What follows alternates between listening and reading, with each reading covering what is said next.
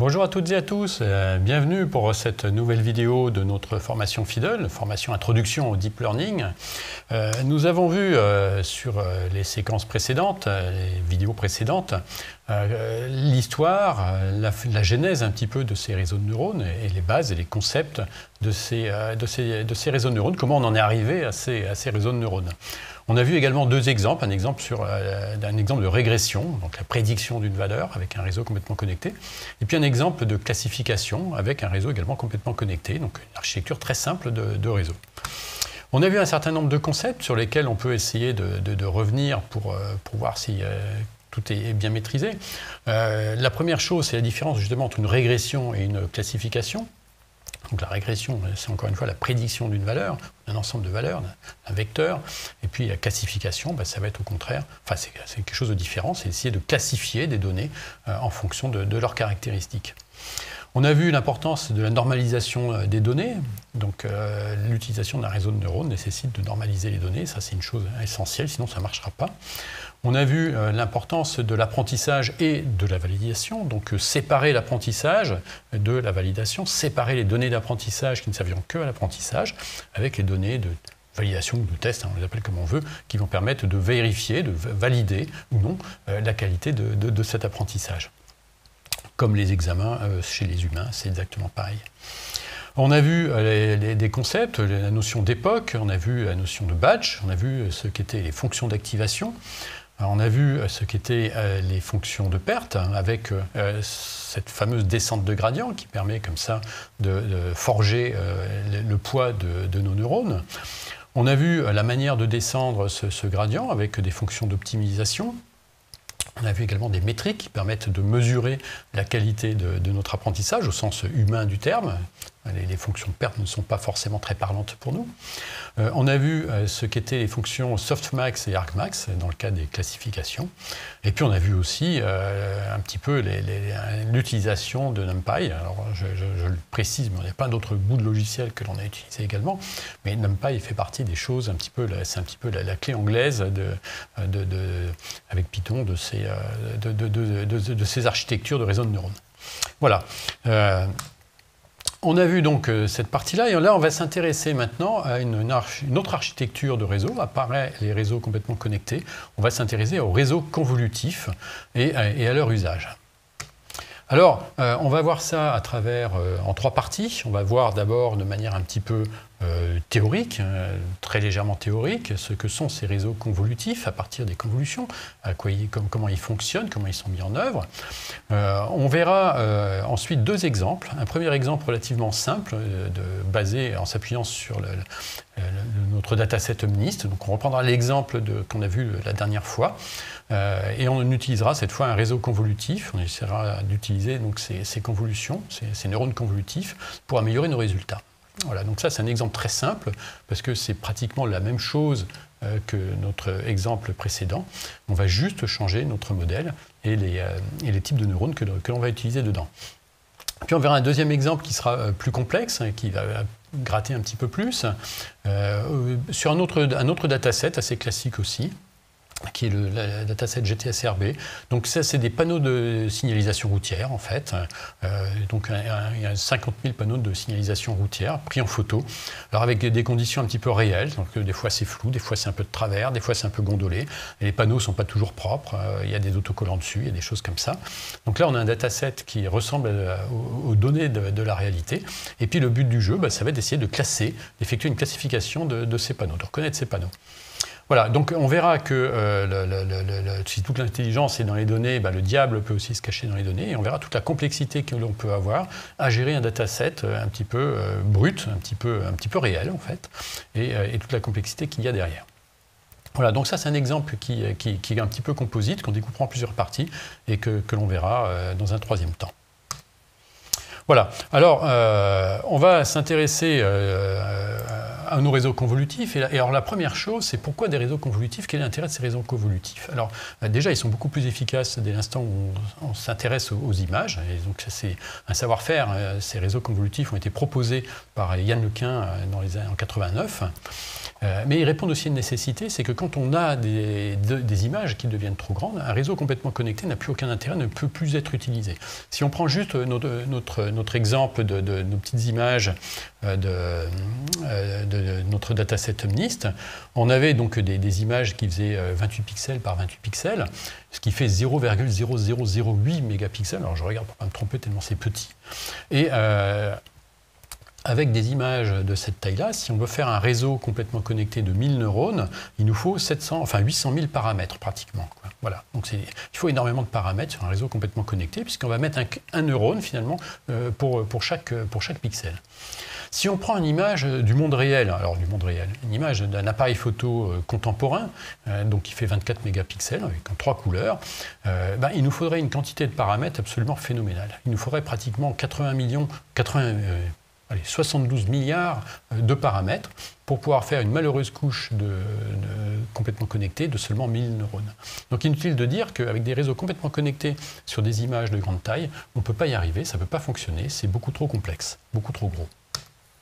Alors, euh, quand on parle de, taille et de neurones, on peut faire une petite digression sur le nombre de neurones dans le règne animal. C'est juste une petite digression, mais c'est intéressant pour avoir comme ça un petit repère euh, quelque part. Euh, si on prend un, escargot, un brave escargot, un escargot, c'est à peu près 10, 000 neurones. Voilà. Cafard, lui, il va avoir un million de neurones déjà en fait, ils s'en sortent très bien avec peu de neurones finalement. Enfin, en tout cas, l'escargot s'en sort très très bien avec très très peu de neurones. Si on regarde des animaux de, plus grande taille, un chat c'est 700 millions de neurones, et puis un éléphant, euh, à l'opposé, euh, c'est 250 euh, milliards de neurones. Alors là, il y a quand même une chose qu'il faut remarquer, c'est que plus la bête est grosse, plus on va avoir besoin de neurones pour pouvoir faire fonctionner la bête en question. Le métabolisme nécessite d'avoir un certain nombre de neurones pour pouvoir faire fonctionner toutes les fonctions vitales ou non, mais enfin toutes les fonctions biologique euh, de, l'animal. Alors voilà, un éléphant, euh, c'est gros et ça a beaucoup de neurones. Un humain, c'est beaucoup, beaucoup, beaucoup moins gros qu'un éléphant. Et ça a seulement deux fois moins de neurones. Donc nous, on a à peu près 100 milliards de neurones. Euh, compte tenu de notre taille, ça nous fait un, solde très positif en plus de tout ce qu'il faut pour pouvoir faire marcher la, machinerie. Alors, un, cas intéressant, c'est celui des, des oiseaux, de, de, certains oiseaux tout au moins, en particulier tout ce qui est corbeau, pie, corneille euh, euh, et, perroquet aussi. Les oiseaux chanteurs, hein, très souvent, ont une quantité de neurones très importante. Ils ont un cerveau qui est extrêmement développé. Si on prend un corbeau, c'est 2 milliards, 2 milliards de neurones à peu près, qui compte de la taille de l'animal est très très important. Et on savait d'ailleurs que les corbeaux, alors corbeaux, pie, corneille, etc., et, euh, ont, des capacités cognitives extrêmement importantes. Hein. Ils sont capables de compter, faire des additions, des, des opérations. Ils sont capables d'utiliser des outils. Euh, euh, c'est des animaux extrêmement, développés, évolués sur, sur le plan cognitif. Voilà. Alors, petite remarque en passant 2 milliards de neurones dans la tête d'un corbeau, c'est très improbable, a priori comme ça, hein, puisque quand on regarde un chat par exemple, qui est beaucoup plus gros, qui a un cerveau beaucoup plus gros, il n'a que 700 millions de neurones. Et en fait, euh, les neurones euh, euh, chez les oiseaux ont été optimisés, c'est-à-dire que la densité de neurones au sein des, cerveaux d'oiseaux a été complètement optimisée. Donc c'est un petit peu comme si eux, ils étaient gravés en 4 nanos et que nous, on était encore gravés à 40 nanos derrière. Voilà, donc tout petit mais très efficace et, et un très fort potentiel. Alors, euh, nos convolutions, euh, nos réseaux convolutifs utilisent des convolutions. Les convolutions dans le domaine du traitement d'image, c'est quelque chose qui existe depuis longtemps, très longtemps. Et on fait euh, des convolutions pour traiter des images, alors les nettoyer, tirer le bruit, faire ressortir les contours, ou améliorer des images. Ça, c'est quelque chose d'assez classique. Alors, une convolution, c'est quoi? Bah, C'est un mécanisme relativement simple. Alors, si on prend une image, pour commencer, une image, elle est composée de pixels. Alors, si on prend cette image-là, elle est en noir et blanc. Hein. c'est une image qui est en, niveau de gris. Et donc, si on agrandit, on a des pixels, et chaque pixel euh, a un niveau de gris. Et donc, on peut euh, transcoder cette image, encoder cette image avec une matrice et, des valeurs. Donc, chaque valeur va correspondre à un pixel, et notre image est donc composée de, ces chiffres-là. Hein. c'est un grand tableau, en fait. Et donc, euh, une convolution, c'est quoi? Ben, Ça va être une, mécanique, une mécanique où on va déplacer une petite fenêtre, donc c'est une petite fenêtre orange comme ça, donc là qui fait 3 pixels par 3 pixels. on va déplacer cette petite fenêtre comme ça sur, sur notre image, et on va récupérer les pixels, les, valeurs qui sont à l'intérieur de notre fenêtre, et puis on va multiplier ça par un kernel. Alors c'est une multiplication un peu particulière, ce qu'on appelle une multiplication de Hadamard. C'est en fait une multiplication terme à terme, c'est-à-dire qu'on va faire 5 fois 1 plus 2 fois 0, plus 1 fois 1, plus 4 fois 0, plus 3 fois 1, plus 2 fois 0, etc. etc. Et on va faire de, comme ça une somme pondérée. En fait, notre convolution, c'est jamais qu'une somme pondérée euh, avec, dont les poids sont ce fameux, kernel. Et le résultat, ben, on va le mettre de côté, euh, et ça va faire, là, dans notre exemple, notre premier pixel, dans notre euh, première valeur, dans notre couche de, convolution. Et puis on va déplacer notre fenêtre. Donc notre fenêtre, on va la décaler. On va décaler d'un cran, dans notre exemple ici. On récupère donc euh, de nouvelles valeurs qui sont à l'intérieur de notre fenêtre qui s'est déplacée. On va remultiplier ça, euh, refaire un produit de Hadamard par, euh, avec notre kernel 3.3, et on va comme ça avoir une deuxième valeur. Et puis on va continuer comme ça, en déplaçant progressivement notre fenêtre et en parcourant notre image avec notre fenêtre de convolution. On va ainsi constituer un plan de convolution, une, image de convolution, si, si on veut dire. Alors, euh, on peut faire ça, on a vu ça sur un exemple très simple, sur une image en niveau de gris, en noir et blanc, mais on peut faire ça sur une image en couleur. Alors, si on prend notre exemple ici avec nos girafes, on a donc trois couleurs, rouge, vert, bleu, classique, hein, sur, une, photo. Mais on pourrait avoir des images beaucoup plus complexes. Hein. si on prend des images satellites où on a une multitude de canaux, on aurait bien plus de couleurs que ça, bien plus de plans euh, que ça. Alors là, dans notre exemple, on a euh, trois couleurs. On utilise ici euh, une, matrice de convolution qui fait 4 par 4.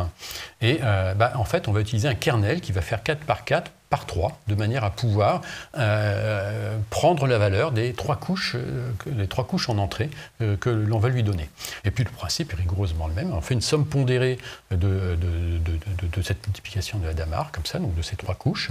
Et puis on, remplit, en, parcourant notre image comme ça progressivement, on va constituer notre plan de convolution, remplir notre plan de convolution progressivement.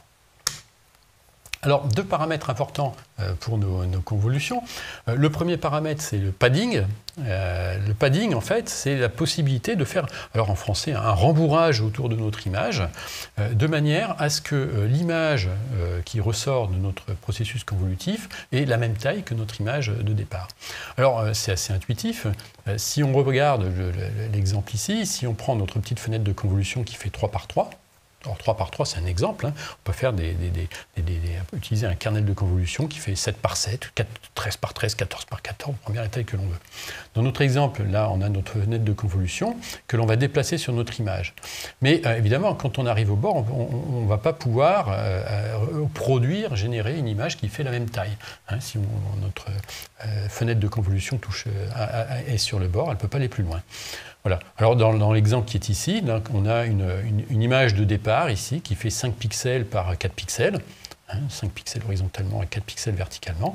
Et euh, si on ne peut pas dépasser, si on peut pas sortir, si notre fenêtre de convolution ne peut pas sortir de l'image de départ, euh, eh ben, on a quelque chose qui est beaucoup plus petit à l'arrivée on a une image de convolution qui va faire que 3 par 2 ici. Hein.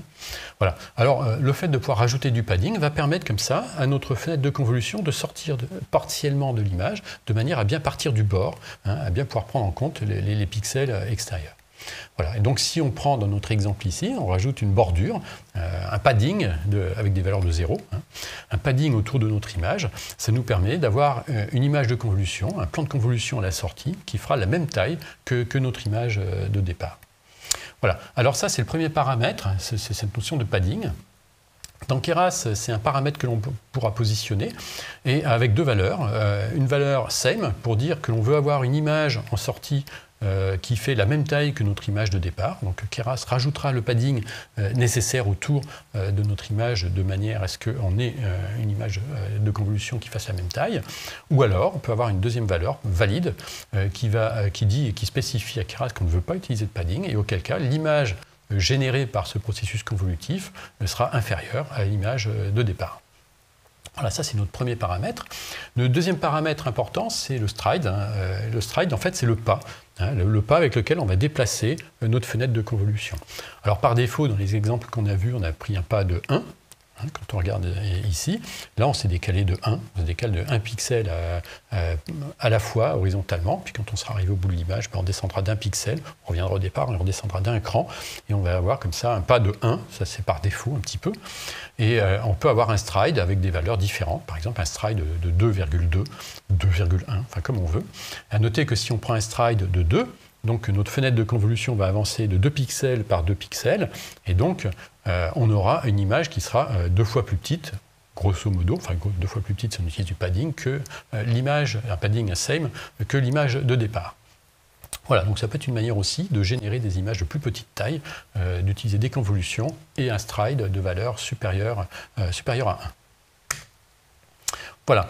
Alors, euh, si on revient un petit peu sur, euh, nos réseaux de neurones, euh, donc là, on a vu ce qu'était la, convolution, ce qu'était une convolution, et on va voir maintenant comment on utilise ça dans nos réseaux de neurones. Alors, juste pour revenir sur nos réseaux de neurones complètement connectés, nos, neurones classiques, hein, ceux, que l'on a vus jusqu'à jusqu'à maintenant, un neurone est connecté à tous les neurones de la, couche qui sont de la couche d'avant, hein, de la couche antérieure. Alors si on prend par exemple ce, neurone euh, ici, euh, bah, ce neurone il est connecté, donc on a une couche A avec M euh, neurones, on a notre couche B avec notre neurone ici, bah, ce neurone-ci va être connecté à tous les neurones qui sont sur la couche d'avant. Hein. Voilà. donc la valeur qui sort de ce neurone-là, Y, bah, c'est sigma. Sigma, c'est notre fonction d'activation de la somme pondérée, donc de, la valeur de chacun des neurones de la couche d'avant fois un poids plus un biais. Hein, voilà, donc ça c'est vraiment le, sigma euh, euh, y, yiwi plus b euh, qu'on a vu jusqu'à maintenant. Voilà, donc le nombre de paramètres, à noter que le nombre de paramètres, si j'efface ça, le nombre de paramètres que l'on va avoir, pour un seul neurone, bah, ça va être le nombre de poids que l'on va avoir, et on a un poids pour chaque neurone de la couche d'avant, donc ça va être le nombre de neurones de la couche précédente, plus 1, euh, ça, ça va être le nombre de paramètres de notre neurone. Donc il y a autant de poids qu'il y a de neurones sur la couche d'avant. D'accord? Donc là, si on a m neurones, on a m poids. C'est assez logique. Plus le biais. Et si sur notre couche B, euh, on a euh, n neurones, et eh bien dans ce cas-là, on va avoir n fois m plus 1 paramètres pour faire fonctionner cette couche B. Voilà, ça c'est quelque chose qu'on a vu précédemment, enfin c'est l'architecture des, réseaux que l'on a vu précédemment. Si on regarde euh, nos réseaux convolutifs, euh, nos neurones convolutifs, ils vont fonctionner de la manière suivante. Si on a une couche en entrée qui est ici, alors des couches qui sont assez grandes puisque c'est euh, le type image, on va avoir un kernel dans notre exemple ici qui fait 3 par 3. Ben, en fait, notre neurone convolutif ici, il va utiliser uniquement les 9 poids de ce kernel plus un biais. Hein. Donc il va prendre cette fenêtre de, convolution que l'on a ici, qu'il va, faire euh, glisser sur l'image de départ, mais les paramètres qu'il va utiliser seront toujours les poids, toujours euh, les, mêmes poids euh, de ce, de ce kernel. Voilà, donc sur un neurone convolutif que l'on va avoir ici, avec un kernel qui fait une taille de kx par ky, le dessin ici c'est 3 par 3 en l'occurrence, euh, on va avoir euh, une couche de convolution qui va être produite, qui va être calculée de la manière suivante, y égale sigma. Sigma est notre fonction d'activation, donc notre neurone convolutif a toujours une fonction d'activation. Euh, et puis ça va être le produit de, notre kernel ici par les valeurs qui sont dans la fenêtre de notre, fenêtre de convolution, par ce fameux produit de Hadamard, plus un biais. Voilà, plus un biais. Donc le nombre de paramètres que l'on va avoir euh, pour un neurone convolutif, bah, ça va être la taille du kernel, le nombre de poids qu'il y a dans le kernel, la taille du kernel, plus le biais. D'accord Donc si on a un kernel qui fait kx euh, par ky, euh, on va avoir un nombre de paramètres au niveau de notre neurone convolutif qui va permettre de générer toute une couche convolutive qui sera seulement de kx par ky plus 1. Voilà, donc on peut faire une couche de convolution. Si on a un kernel 3 par 3, eh bien, il nous faut juste 10 paramètres pour pouvoir faire notre couche de convolution. C'est extrêmement efficace, extrêmement efficient, beaucoup plus efficient que euh, nos neurones complètement connectés que, l'on avait ici. Voilà. Alors, si on a plusieurs couches euh, en, amont, alors par exemple des couches, bah, on a l'image RVB par exemple, où ici on a pas, une centaine de couches de convolutions sur, qui, ont été constituées précédemment. Bah, notre kernel ici, on, va lui rajouter, des épaisseurs en fait, et on aura un kernel qui fera plus kx par ky, mais qui fera kx par ky fois n, n étant le nombre de couches que l'on veut, convoluer dans par notre neurone convolutif. Voilà, euh, le modèle est exactement le même, hein. c'est toujours euh, le, produit euh, de notre kernel par ce qu'il y a dans notre fenêtre de, notre fenêtre de convolution qui va se déplacer avec un stride, avec du padding ou pas de padding. Et puis bah, le nombre de paramètres dans ce cas-là, au niveau de notre neurone convolutif, bah, ça sera toujours enfin kx fois ky fois n. Hein, on rajoute cette dimension, cette profondeur, et plus 1 avec notre, avec notre, biais.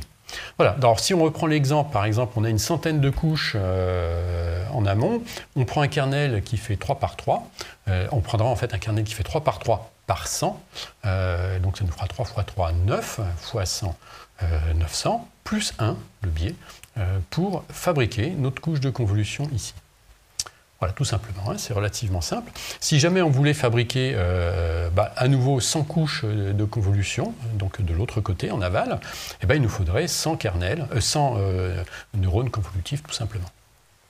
Voilà, c'est relativement simple et surtout extrêmement efficient en termes de quantité de paramètres et de quantité de mémoire qu'il faut pour pouvoir faire fonctionner cette architecture. Voilà, alors comment utilise-t-on ces, euh, couches convolutives et ces, neurones convolutifs? Eh ben, On va faire ça de la manière suivante. On va avoir une image en entrée. Alors ça, c'est euh, les architectures que l'on va utiliser euh, dans nos exemples. Si on prend les, gros, gros, gros réseaux de neurones, Google le Net et autres, qui, permettent de, reconnaître tout un tas d'objets, des, millions, des milliers d'objets dans, des images, on aura des architectures qui seront nettement plus complexes que ça. Hein. On aura des centaines de couches et des architectures un petit peu plus sophistiquées mais globalement, ce modèle-là, c'est vraiment le modèle que l'on retrouve, c'est le modèle, euh, voilà, le modèle de base sur un réseau convolutif. C'est vraiment l'architecture type d'un réseau convolutif, et on verra que ça permet déjà d'obtenir de très très bons résultats. Alors, euh, on a donc notre image d'entrée, donc euh, qui est de type, de type RVB. on va fabriquer des couches de convolution, donc on va fabriquer des couches de convolution qui auront soit la même taille, soit une taille légèrement inférieure en fonction de, de l'utilisation non de, padding. Euh, donc là, on a par exemple donc, trois couches en entrée. Ben là, on va fabriquer, moi je ne sais pas, 16 couches, euh, de, 16 euh, couches, convolutives. Hein. Voilà. Ensuite, ces images, enfin ces plans de convolution, ces images de convolution, on va les réduire on va en réduire la taille. Donc pour ça, on va utiliser une fonction qui s'appelle du, pooling. Alors le pooling, euh, c'est quelque chose qui est extrêmement simple. Il y a plusieurs types de pooling. On peut faire du, max pooling ou de l'average pooling. Le max pooling, c'est en général enfin, celui qu'on utilise le plus. Euh, en fait, c'est très très simple. On va faire du pooling, on va prendre une petite fenêtre qu'on va déplacer dans notre image toujours la même, toujours la même cuisine, hein, presque pratiquement. Donc là, on a notre, petite fenêtre qui fait deux par deux qu'on va déplacer dans notre image. Et euh, on va prendre les valeurs qui sont dans la petite fenêtre et on va retenir que la valeur maximum. Alors par exemple, dans notre petite fenêtre ici, euh, qui est en haut à gauche, on a 5, 2, 4, 3. Le maximum, c'est 5. On garde le 5. Voilà. Après, on décale. On se décale, de, on se décale de deux crans, on se décale de la taille de notre petite fenêtre. Donc là, on vient ici, on reprend les, quatre valeurs qu'on a ici, 1, 3, 2, 7, et on prend le maximum, alors il se trouve c'est 7, et on garde le 7, etc. Et on passe à la on passe, on, parcourt comme ça notre image, hein, en plaquant comme ça notre petite fenêtre, et en gardant que euh, les maximums. Alors à l'arrivée, si on prend, euh, fait un max pooling avec euh, d'une taille de 2, euh, ben on va diviser par 2, enfin par 2 en largeur et en, verticale, donc par 4 en fait le nombre de pixels. On va diviser par 2 la largeur et par 2 la hauteur de, notre, de notre image. Voilà. Voilà tout simplement comment marche le, pooling. C'est en fait quelque chose qui est, qui est, très très bestial et qui est très très efficace. Voilà, donc on a nos, images de convolution comme ça. Euh, on va en réduire la taille, donc on divise euh, par deux sur chaque, sur, chaque, sur, dimension, enfin en x et en y, la taille de nos images. Et puis on refait euh, des convolutions. Donc bah, si on avait, alors, je sais pas moi, 32 images, enfin 32 plans de convolution ici, on a 32 plans de convolution réduits après le pooling, et on refait de la convolution, on va refaire, fabriquer par exemple 64 plans de convolution avec cette, nouvelle, nouvelle convolution ici. Donc on fabriquera 64 plans de convolution ici, avec 64 neurones convolutifs et 64 kernels. Hein, voilà. Et donc là, on récupère des images bah, qui sont à la taille ou à peu près de des images qui étaient résultantes du pooling. Et puis on va refaire du pooling, on va rediviser la taille. Et puis on va refaire des convolutions. Donc on va progressivement, notre grande image, on va la diminuer, enfin on va faire des, plans de convolution et en réduire la taille. Donc on va augmenter en profondeur et on va diminuer euh, la, superficie euh, XY de, de nos images. Hein, donc là, on avait quelque chose de grand, on a divisé par deux, on refait du pooling on refait euh, des convolutions, on redivise par deux euh, en, rajoutant des couches de convolution à chaque fois, et on va diminuer comme ça la taille en XY de notre image, tout en rajoutant de la profondeur progressivement. Alors l'idée c'est quoi là-dedans C'est que euh, les premières couches de convolution vont faire ressortir des détails, des, bordures, des choses comme ça, les, tours, les contours.